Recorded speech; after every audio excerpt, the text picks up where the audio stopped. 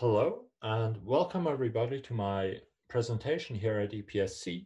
My name is Björn Konrad. I'm a master's student at ETH Zurich and today I will be presenting results I found in my master's thesis in which I studied the atmospheric retrieval sensitivity um, for Earth twin exoplanets um, observed with the LIFE telescope.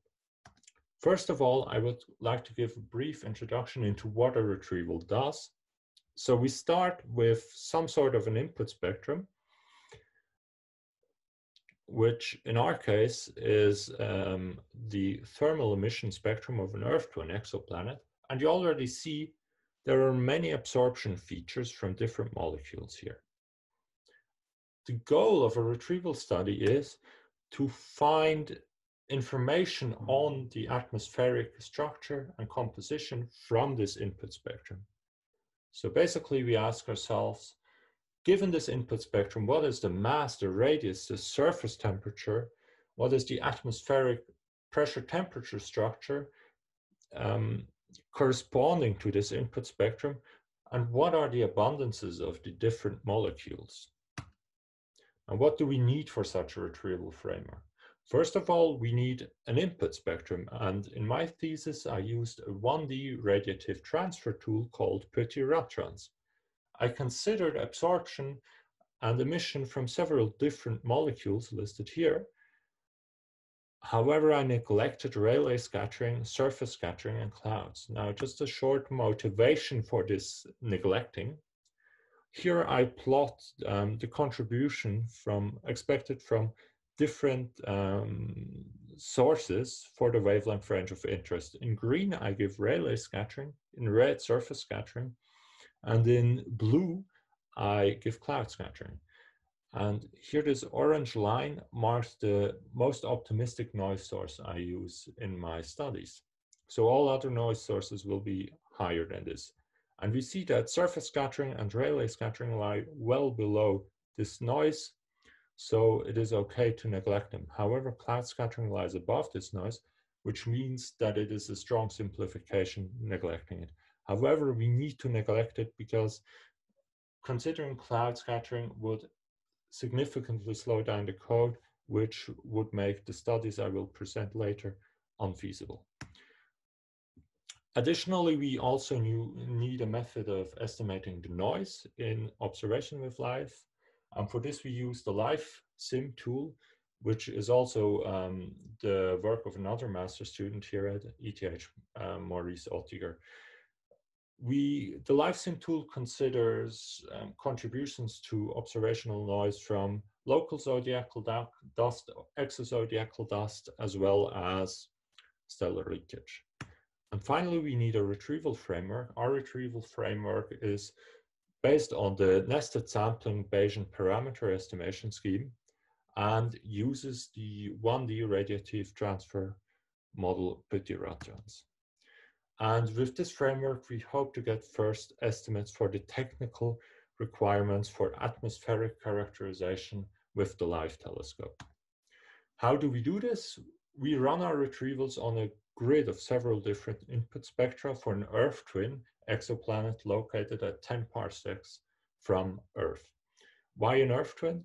We argue that if we want to be able to characterize the atmospheres of exoplanets, we should at least be able to characterize an Earth twin. So this is a good starting point. Additionally, we consider different baseline optimization. So basically, um, the noise of the LIFE telescope optimized for short wavelengths or 50 microns, as well as different exozodiacal dust contributions of 3 exozodis and 0.5 exozodis. Further, we consider different signal to noise ratios, all at 11 microns, and spectral resolutions, as well as wavelength ranges. This leads to a total of 96 cases, which is too much to discuss in this short time. So we will mainly focus on the R equals 50 and R equals 35 cases, as well as on SNRs greater than 10. First, we consider the performance of the retrieval for planetary parameters. Here we present the results. The black lines indicate the true values. The shaded areas give some reference range. And the dots of different shapes and colors basically give the retrieved values and uncertainties. we see that the mass isn't really constrained by our retrieval, which is in correspondence with other retrieval studies. However, the radius, surface pressure, and surface temperature of the planet are very nicely retrieved for all considered wavelength ranges and spectral resolutions, as well as signal to noise ratios. So no constraints here. Now we go on to the atmospheric species. Um, first, we see that the atmospheric bulk constituents, oxygen and nitrogen, are not retrieved, even though we consider features from collision-induced absorption. The atmospheric trace gases, the results we find are summarized here. The CULU SL just um, stand for the different types of um, posterior distributions. So basically from unconstrained posterior all the way to a constrained Gaussian posterior, which would be C. We find that CO2, O3, and H2O are nicely retrieved for all wavelength ranges R and S and R. Similarly, CO and N2O are not retrievable for any of the considered R and S and R. Now, the interesting stuff happens for methane because here we have a strong dependence on R and S and R, as you can see here. So we will now, from now on, focus, focus just on methane. First of all, we consider the wavelength range dependence of methane. We see that um, we have a better performance for the short wavelength optimized noise. We see some statistical fluctuations which are not really um, of importance. But generally, we observe that for the 6 to 17 micrometer wavelength range, we have a reduced performance of the retrievals for both cases. This suggests that the preferred wavelength range for life would be larger than um, 4 to 18.5 microns at least. Now we will focus on the R and SNR requirements, and we find that we need at least an R of 50 combined with an SNR of 10 or an R of 35 combined with an SNR of 15 to retrieve, um, to get a good estimate for the methane abundance. And this is for the short wavelength optimized case. If we go to um, the long wavelength optimized case, we basically even need better performance. Now we can also consider the estimates for the required observation times we get from the LIFEsim tool. And again, we see First of all, we considered three different LIFE telescopes, so four times one meter, four times two meters, and four times 3.5 meter primary mirror sizes. And we see that the four times one meter case isn't feasible because we have observation times of 700 days in a characterization phase of about three years, which doesn't, which isn't feasible. The other two cases are feasible. And we also observed that the R is equal to 50 case requires less observation time to achieve similar results. Thus, we would prefer an R equals 50. Furthermore, more advanced studies showed, we will publish these studies, that R equals 35 is unlikely to be um, high enough for a robust CH4 detection, which really, again, underlines that we need a spectral resolution of 50. Now, for the end, just a brief comparison between reflected light and emission studies. The reflected light studies performed by al. are very similar to the study I presented here. And we just compare them briefly. So we see that thermal emission studies have the potential of um, detecting the, the important gases CO2 and methane, which are not accessible in the optical range.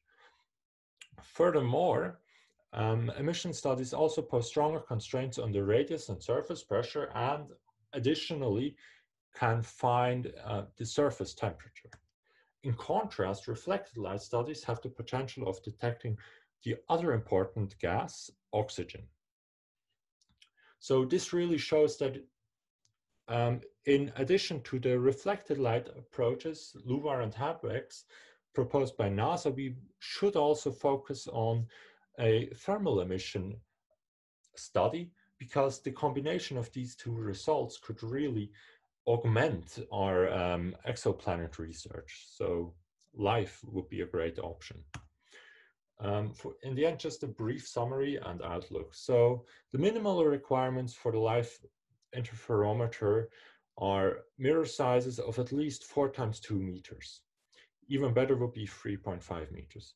We also find that we need a, at least a wavelength range of 4 to 18.5 micrometers, a spectral resolution of at least 50, and a signal to noise ratio of at least 10. Now just a brief outlook for future work. In the first step, we will try to run retrievals for more complex input spectra from 3D atmospheric models, which, uh, which consider um, more atmospheric physics like atmospheric circulation, clouds, and all that stuff to just get more accurate results or estimates. And then few, in the further future, we would like to go beyond the Earth twins. So what happens if the planet is located farther or closer to the sun? What happens if the radius is smaller or larger? What happens with other atmospheric composition and so on? The problem at the moment is that this requires a large computational, um, a large amount of computational time, which is currently not feasible with our code. So we will have to find new approaches. So this is the end of my presentation. Thanks a lot for your attention. If you have any questions, please contact me. I'm happy to answer them and have a nice week and also a nice rest of the con conference. Thank you.